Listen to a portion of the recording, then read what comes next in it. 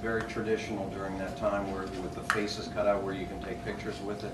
Cool. We we're gonna have little donuts, and we're trying to get some ladies to dress up like donut dollies, which was what the Red Cross um, used to have. That they would serve donuts for for the troop. Um, We're trying to have a lot of traditional types of things there. And the other thing too is that we're, Paul doesn't know this, but because Paul did this um, in the mood for us, we're giving him um, a soldier's package. Aw. And in it's gonna have Spam, a pack of camels. and We, I got a, um, I got a lighter, a Zippo lighter engraved for him. Oh my That god. says thanks for putting us in the mood. And Oh, that's A lot of great. good music in that.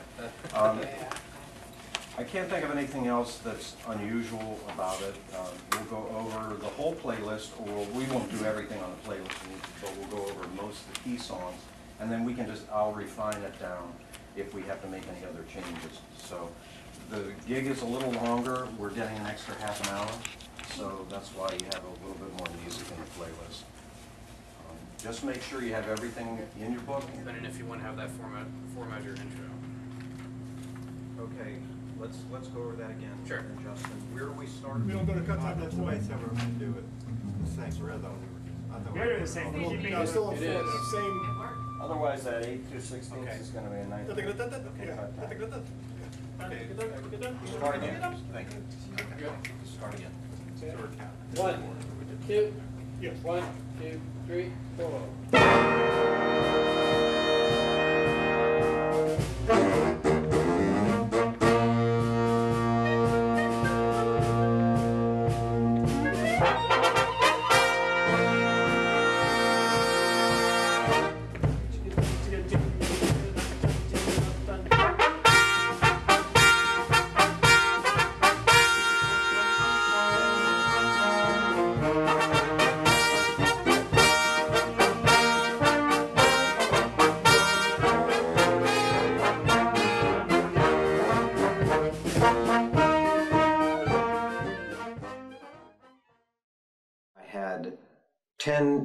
Charts or ten pieces of music, some of the original, the original ones that the big bands played, and I thought we could use this as a basis for it. So I went to some individuals within the Fauquier Community Band, namely Sherman West, who's a clarinet player, and I knew he could play alto sax. I knew he was a great musician, so I talked with him about it. And at the same time, I talked to my wife Wendy, who's a tremendous French horn player. I know that she's she uh, likes to sing, and thought this would be a great opportunity. So we would base it on those two things. Uh, we wanted to have a big band that was mainly vocally based so that we could teach the musicians how to play with a vocalist rather than just have a vocalist come in and sing a song. And we would gear the band around vocal charts so that we could really give the audience what they wanted. And that was the main the main emphasis on it. Um, Wendy, my wife, was readily ava- wanting to go ahead and sing, and she decided that that we would do um, an Andrew Sisters trio. So that's how we did it. We we set out to find the original Andrew Sisters charts, which we were able to find a, a great number of the the very best things that they put out. Although the Andrew Sisters were prolific recorders, and they would record a record a week. It was just unbelievable. But we picked great songs that we knew the audience would love, and we started in that basis. So it was sometime around August of 2012 that we decided we'd get the people together. I went out and personally talked to all the musicians and arranged them. They decided they wanted to come and work with us. So we literally started it in Wendy and my garage, and we set up the chairs. We pulled out the music. We set it in front of the individuals, and almost from the very beginning, the sound was there. We knew the sound was there. No, no, people are looking for a kid. Looking for Kiss My They want their Grits? grits kissed. Yeah. Yeah, Did they say do. Kiss My Grits in nineteen forties? No. Oh, I thought Flo said They said a that. whole hours. One,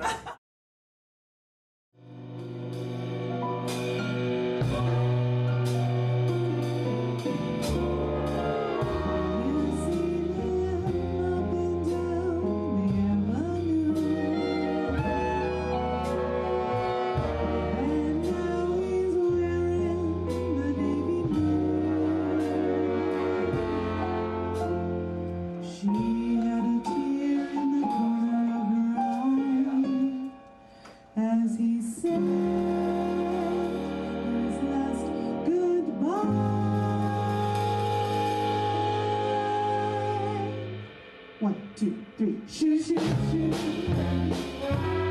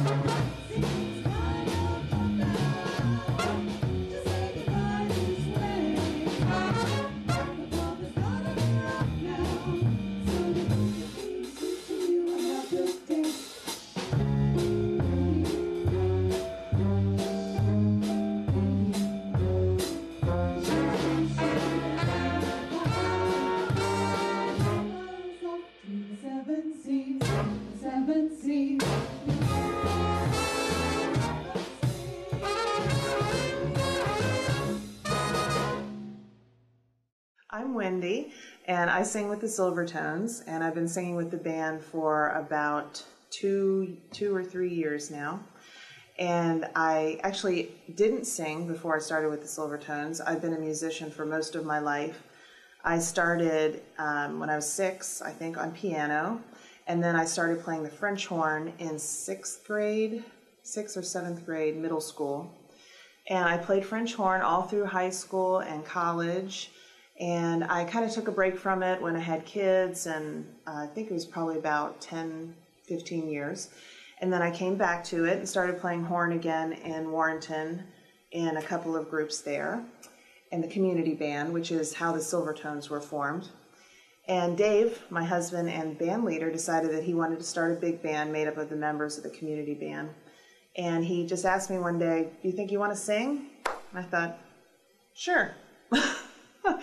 because I I actually sung in a choir, I think, when I was like 20, but that was all the singing experience I had. So I knew I could carry a tune. And I think that knowing the French horn and learning music that way really helped me to be a better singer. So uh, we started the band and we decided that we were going to make the focal point of the band the Andrews Sisters Trio because it's such great music. People really enjoy it. And I sing lead in that with two other lovely ladies, Mitzi and Lark. And they're my best friends, and we just have such a great time. They're singing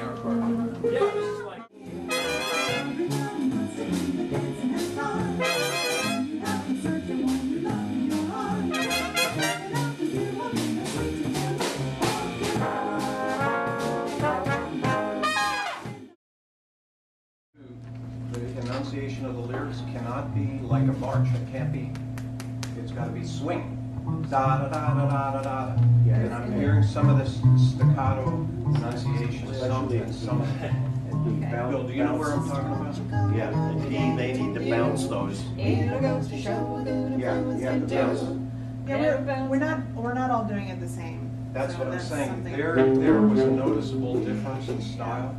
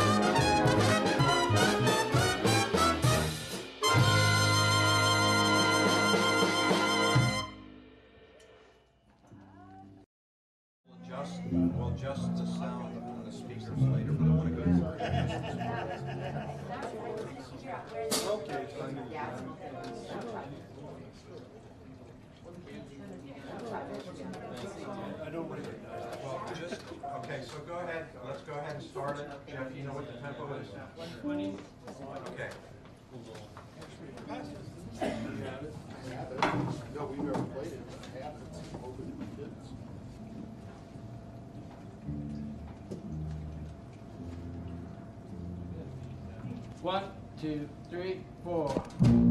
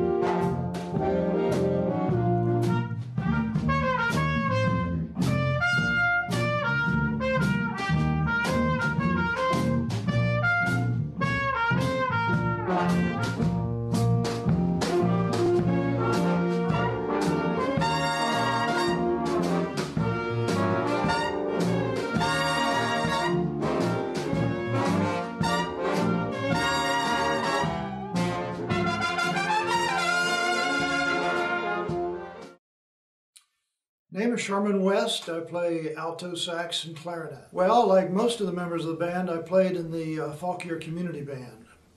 I'd say two thirds of us are from there. And uh, Dave Schuma, who played trumpet with that band, uh, asked me to play with the um, Pied Piper Theater, their community theater production of Sound of Music, in the pit orchestra. And I'd always wanted to play in a pit orchestra, so I played with that. And then the next thing they did with the Pied Piper involved needing an alto sax as well as a clarinet. So Dave asked me if I played the alto sax. Well, I had an old alto sax and I got it out, but it, I hadn't played it in so long it didn't work very well. So I always wanted to do this, so I went out and uh, got another alto sax and played sax and clarinet in the next production that they did.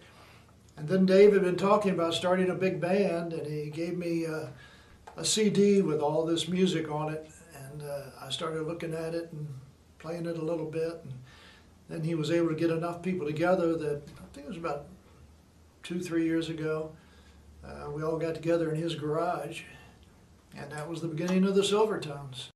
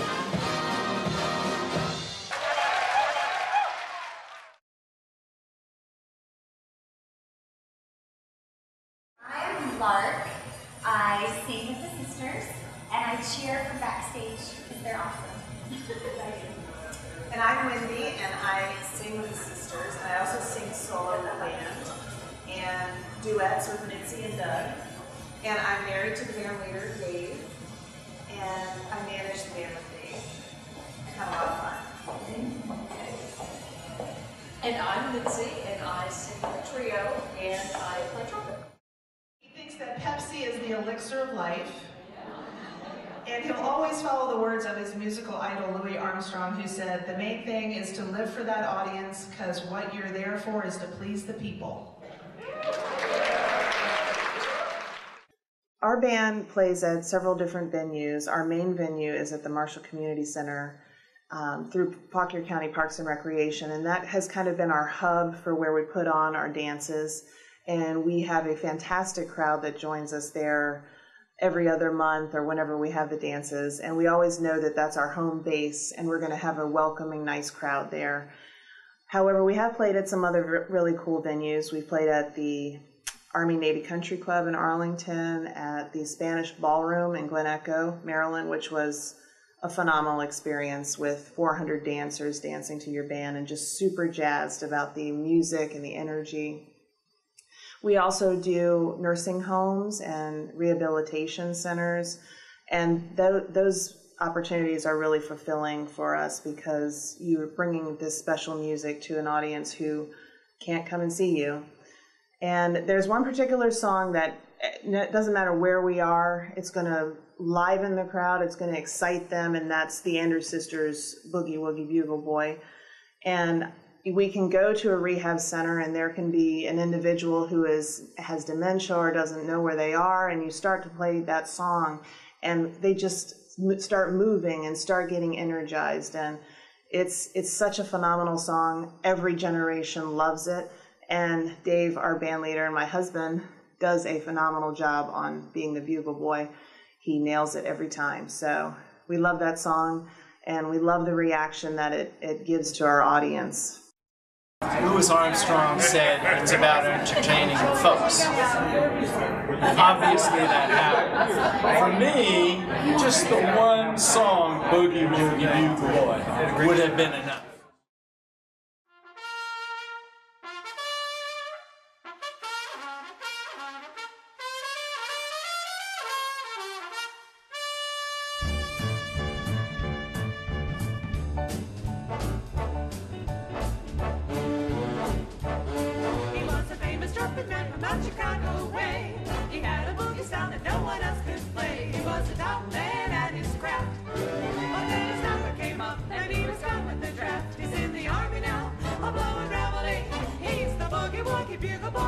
B. They made him blow a bugle for his Uncle Sam. It really brought him down because he couldn't jam. The captain seemed to understand. Because the next day the cap went out and drafted a band. And now the company jumps when he plays reveille. He's the boogie woogie bugle boy of Company B. A toot, a toot, a tooty da a toot. He blows it eight to the bar. In boogie rhythm, he can't blow a note unless a bass guitar is playing him. He makes the company jump boogie woogie bugle boy Company B. He was a boogie woogie bugle boy Company B. And when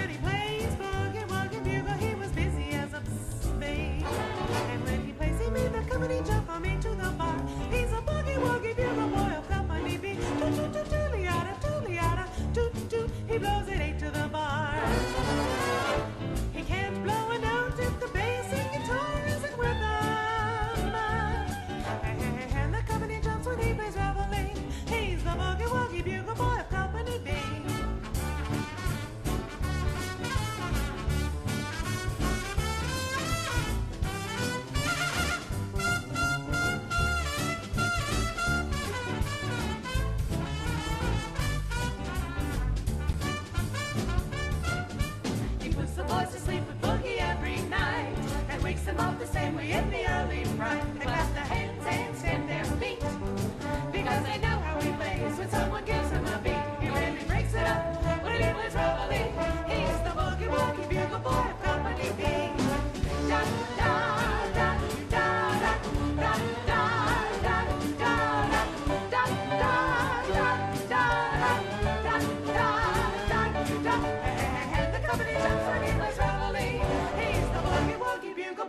Company B.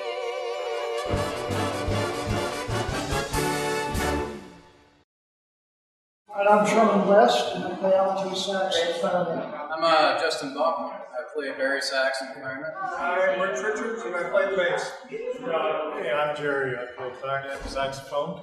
I like those dead animals you have on your microphones there. Matching.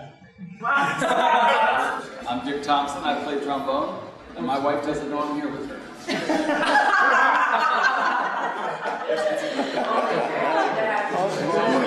I'm, I'm Mitzi Price, and I'm a vocalist with the Andrew Sisters Trio, and I'm trumpet. My name is Bill Campbell. I play bass trombone. I'm John, and I play guitar. I'm Bill Weber and I play trumpet. I'm Arlene Fiorio, and I play tenor saxophone. My name is Kevin Reisenberg. I play trumpet. What else do you want?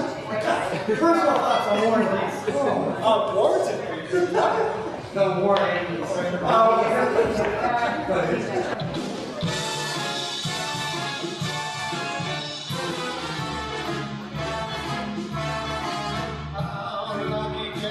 What got me?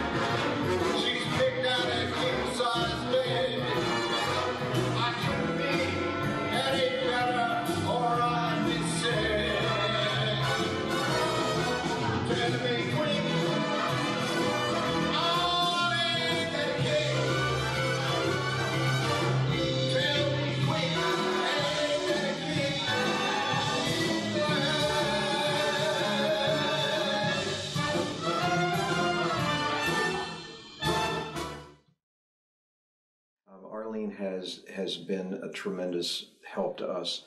She has the most refreshing attitude that I've seen, and always is pleasant. Always is thankful for everything going on. Works very hard at her music. Gives us the opportunity to rehearse at her space where she works, and I think that she's just um, she's just a tremendous person. But I, I, I cannot have this conversation without speaking about my wife, my lo- lovely Wendy. Um, she gives so much to this band every single day, lives and breathes looking for opportunities for the band, works at her music tremendously. She just is, she's the light of my life, and she consistently works to make this band better and works eh, truly tirelessly in what she does with it. Uh, I I don't know. I could I could keep speaking t- till the cows come home about my feelings about what she does. And it's just, I love you.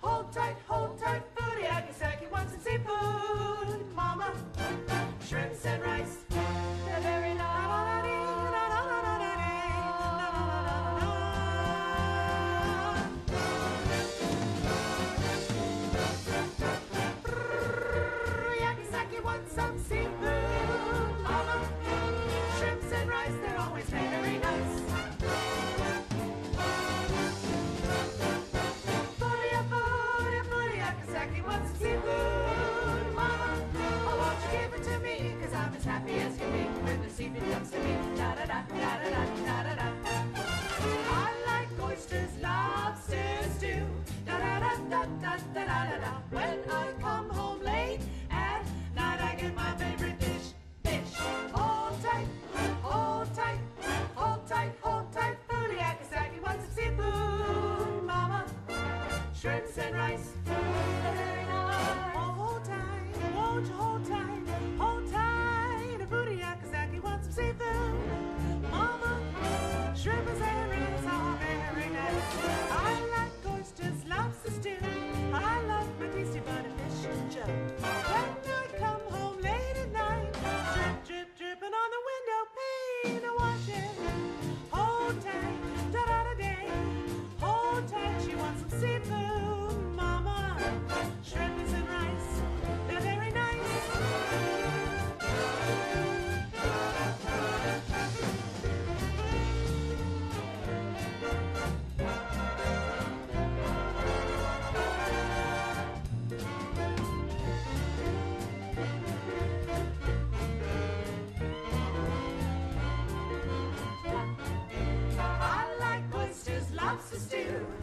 I like my tasty butterfish food. When I come home late at night, I get my favorite dish, fish. Hold tight, hold tight, hold tight, hold tight. I want some seafood. Oh, mama, shrimpers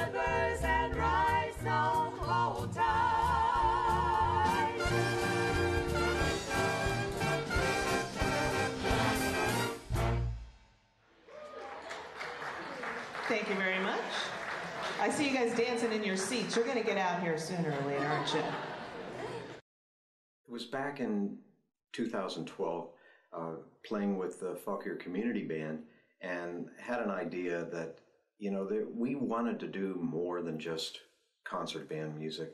So I decided that I wanted to start a big band. There are a few big bands around, but not enough. And I wanted to start the big band with the thought that we would preserve the historic nature of big band music since it has a pure and natural nature to it. It was developed at a time, at an era when the the country was undergoing some pretty pretty great stress during the war, World War II, and so we decided that we would just try to continue on with that historic nature of it.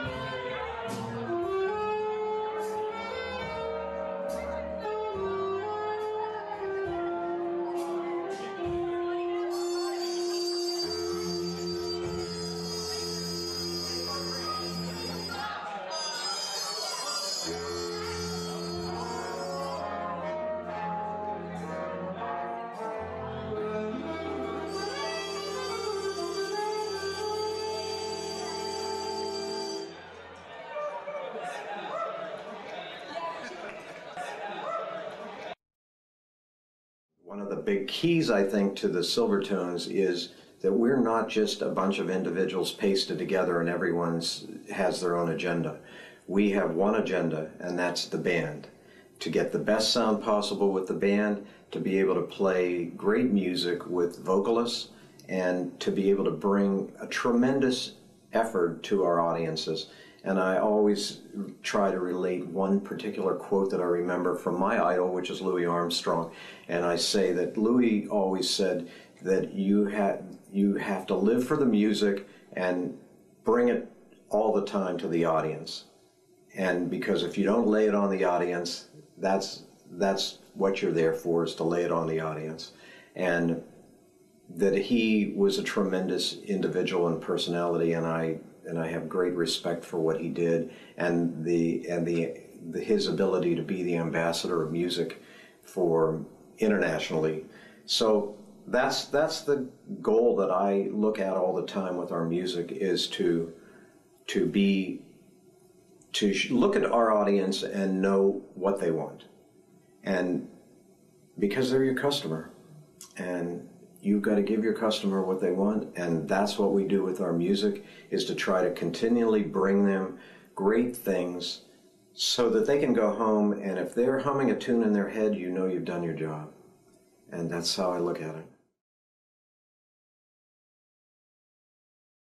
And uh, the most important thing about Glen Echo and the Gottaswing World of Dancing is it's really built around live music. And this is the debut performance for the Silver Tones. Put your hands together for the Silver Tones Swing.